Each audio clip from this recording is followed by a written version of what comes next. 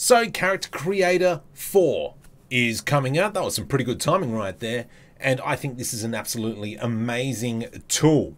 Now let's just talk about some of the features. We're going from 60 blend shapes to 140 just on the face. And it looks like they've done quite a bit of effort to redo um, how we do skin colors and so on and so forth. So I'm really looking forward to that. You can see that there's a lot more um, like uh, nuances to change and so on and so forth. So I think that this is probably going to be fantastic. Obviously integrated with iClone, and when using iClone, you can use the puppeteering tool. Mm. Beautiful. But the more important thing that I want to show off, actually, let's talk about this really quick. I'm hoping that with live face that they actually do capture the 140 uh, blend shapes rather than just the 60. So if they can pull that off, oh. so let's go back and let's just talk about the price. The price is going to be $300 US. You might think that's steep. I do not think so one little bit, and I will tell you why. One character, uh, if you were to only make one character using Reallusion, uh, sorry, Character Creator 4, that'll be $300. However, let's just jump over onto Turbo Squid. This character here 239 599 this one here is $179 and $449 for this character. Now what's that?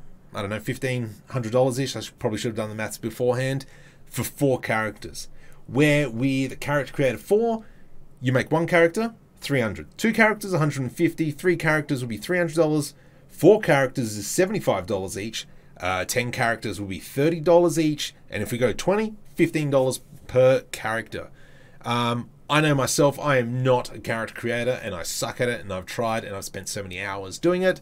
Um, let's say if you're a good, you know, person, uh, you're someone like Jan Sculp, who's, I don't know how he does it, but he makes some really great characters.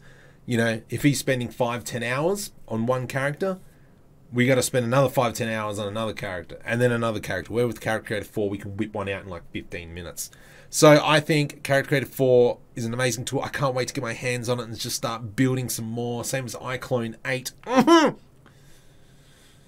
lots more shorts and videos coming out. So if you like it if you like this video let me know. If you don't like it let me know.